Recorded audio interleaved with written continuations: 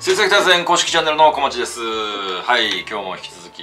一人で喋ってますけどよろしくお願いします。今日はねクラブ関係者から流れてくる本当かどうかわかんない。なんかインサイダー情報が実際どうなんだっていう話をちょっとしていきたいなというふうに思ってます。ということで今日のメニューが募集場のインサイダー情報っていうのは本当にあるのっていう話とあとこれまでに僕が聞いた話の答え合わせをちょっと一緒にしていきたいなというふうに思っ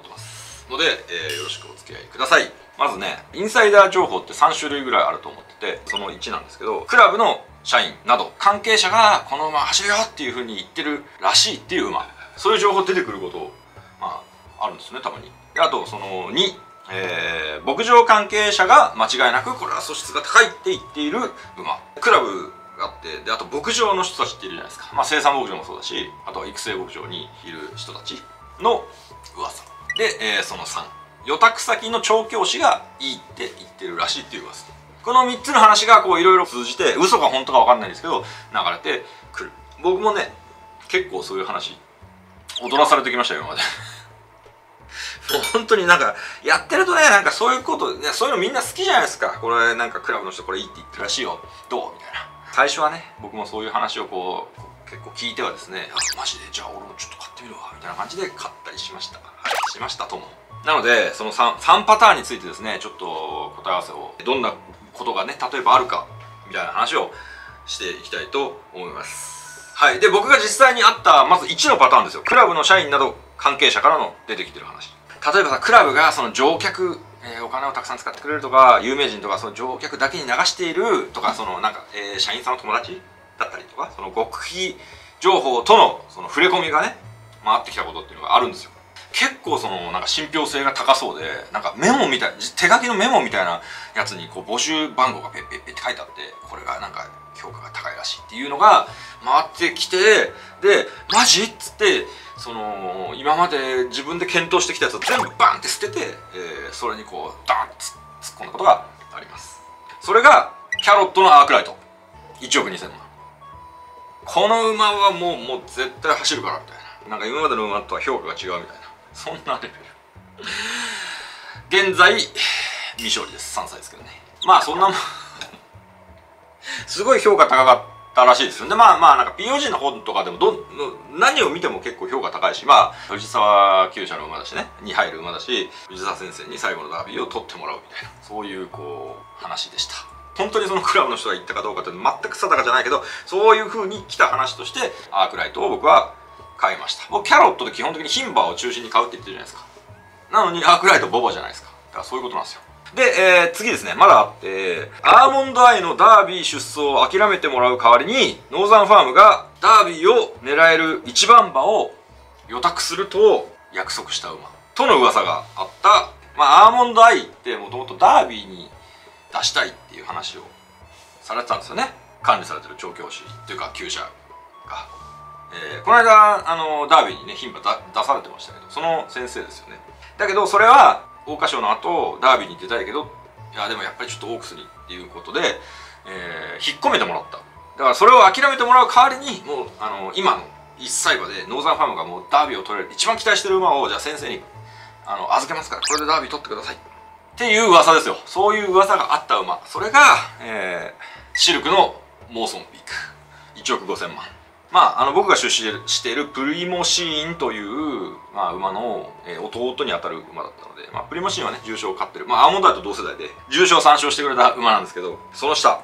1億5000万、ね、シルクで最高値の募集がされて、えー、国枝厩舎。あ言っちゃったけど国枝厩舎。まあまあわかるか。国枝厩舎に入ってその時にそういう噂があったんですよ。まあ結果はですねに今2勝クラスですね。故障して今休養中ですけど。あとですねクラブに実際に問い合わせをして走りそうなおすすめの馬を教えてくださいっていうのを聞いたこともあって。まあこれはもう僕が直接突撃して聞いた話なんですけど。そのそれはサンデーレーシングだサンデーレーシングに電話してで今僕が買えそうな馬でおすすめの馬を教えてください。実績が全然なかった頃です。っていうのを聞いてうんだったらこの馬どうですかって教えてくれたのがサン、えー、トロシュナーっていう今僕まだ現役の5歳の出資してる牝馬なんですけど。2勝クラスのね馬ですね。スクリーンヒーロー3区の牝馬は走らないっていうふうに言われてますけどこの馬だけはちょっとレベルが違いますみたいなことを言ってました。これは本当になんかお買い得ですよって言われて。まあ一口45万だったんですけど。いいか悪いかはちょっと分かんないです。はい。で、えー、次に2番のパターンですね。で2番は牧場関係者の話っていうことで牧場関係者ってすごいなんか数限りなくめちゃくちゃいるじゃないですか。噂話レベルだとほんと結構多いんですよ。これがいいって言われてるらしいですよ。言われてるらしいですよみたいな話めちゃ聞くんでその話だともうちょっとキリがないのであの直接聞いた話だけをちょっと1個したいと思います。募集場見学ツアーに実際に行ってその時にまあノーザンファームの人牧場の人ですよ。牧場の人があの見て一緒に見ててこの馬はね重賞取れるレベルかどうかは別にしてあの走らないっていうことは絶対ないよっていうふうに言った馬がいるんですよ、まあ、そのツツアーの時にもうすごい取り巻きがこうなんかいっぱい、まあ、動画でも話したことあるかもしれないですけどこの話って。なんか取り巻きがすごくいっぱいいる。ちょっと牧場のなんか偉い偉いさんというかベテランの方で人気の。でその方が一緒に馬を見ててそうやっておっしゃってたんですねマジかと。この人そんなん言うんだったらこれ間違いないんじゃないの？これっていう話をすごく信じたまだピュアだったんで。で、まあ、もちろん当然こう申し込みもしましたし。それが、えー、シルクの現3歳馬のリバースレイって言います。金谷さんが出資してます。現在未勝利ですね、うん。まあ、結構な未勝利ですよ。あの惜しいとかじゃなくて。アークライトはねさっき挙げたアークライトはまだ2着ありますけどリバースレイちゃんは うんダメだね。はいっていうまあまあそういうレベルだったりして。僕は、えー、中優でシルクなんで中優で申し込んだんですけどその年の多分一番人気の馬だったんだよね。僕は取れなくて。金谷さんはなんか紙引きで「よっしゃ俺も重賞もらった」とか言ってましたけど。まあこれどう評価するか本当皆さん次第なんであの見てる人にお任せしますけど。まあそういうことがありましたっていう話ね。最後に、えー、3番のパターンですね。調教師さんの話っていうのをしていきたいんだけど。これねいろいろなつてで調教師さんの話聞く機会ってあるんですけど。まあその調教師さんの実際の評価だからクラブの人とか牧場の人どっから来てるか分かんない話だったりするじゃないですか、まあ、さっきみたいに直接あの自信満々に言っててっていうケースもあったりしますけど。だから調教師さんの話直接、評価の話っていうふうに考えると、まあ、一番信用できるんじゃないかなっていうふうにこれは思っててね。前に動画でも内村氏やった最初の動画でも話してんだけどその飛行機で隣にある調教師さんと隣になったことがあって、まあ、有名な調教師さんですよ。その調教師さんにその自分が出資してる馬でえー、先生のとこにいる馬がいるんですよ。いやこっちだったかな。こっちにいらっしたかな まあどっちでもいいけど。でそれを聞いてその時の評価ってすごく的確だったのをすごく覚えてるんですよ。例えばこの馬どうですか？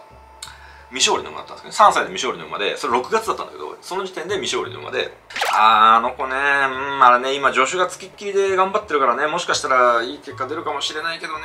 みたいな感じですごいなんか苦笑いしてたんですよっていう評価だった馬はもういいところなくそのまま未勝利で、え、引退してきました。他にねそのデビュー前の6月だから2歳のデビュー前の馬の話をしてて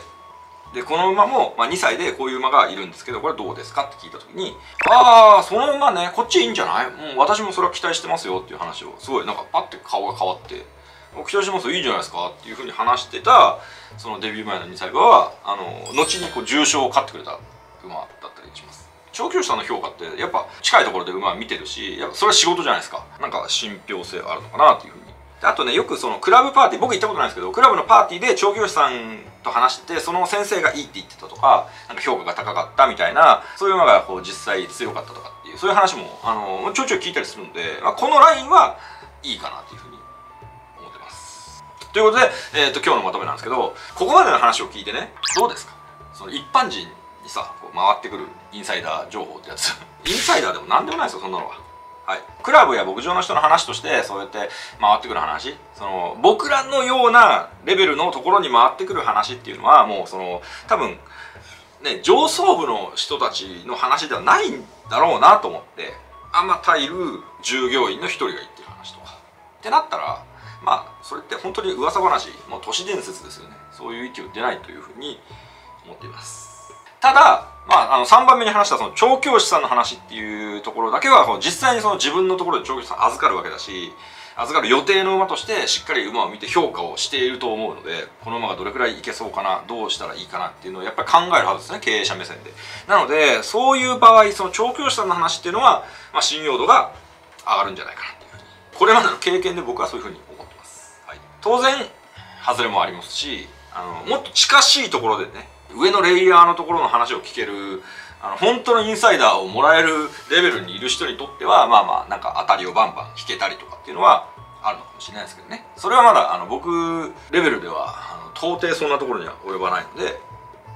勉強したりとかねコネを作ったりとかお金を積まないといけないのかなっていうふうにまあ思ってますけどね。はい。そういうことをいろいろとなんか共有できるようななんかそんなコミュニティみたいなのがねまあそのこういうチャンネルをきっかけにさできればみんなで